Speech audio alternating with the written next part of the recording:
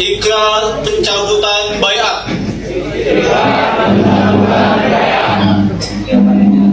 Bismillahirrahmanirrahim. Bismillahirrahmanirrahim.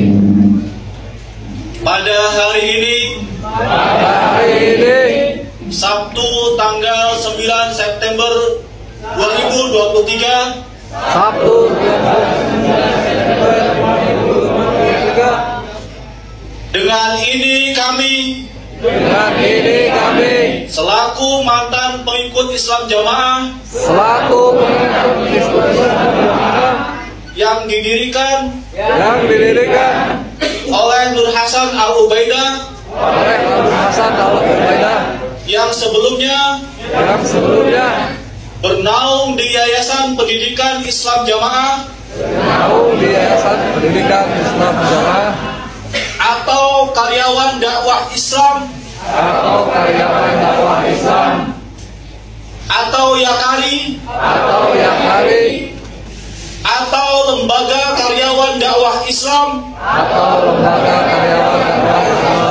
Dalam kurung Lemkari dan turun Lemkari dan saat ini dan saat ini bernama Lembaga Dakwah Islam Indonesia. Bernama Lembaga Dakwah Islam Indonesia. Atau LDII atau LDI untuk kembali ke dalam rumah umat Islam. Untuk kembali ke dalam rumah umat Islam. Yang rahmatan lil alamin. Yang rahmatan lil alamin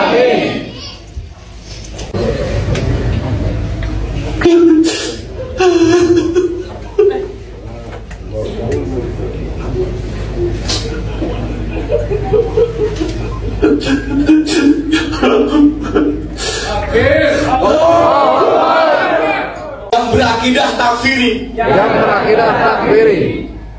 Sebagai benih sebagai benih radikalisme. Sebagai benih radikalisme. Yang mengakibatkan perpecahan. Yang mengakibatkan perpecahan. Antar umat Islam. Antar umat Islam. Dan membahayakan eksis- eksistensi negara kesatuan Republik Indonesia. dan membahayakan eksistensi kesatuan Republik Indonesia.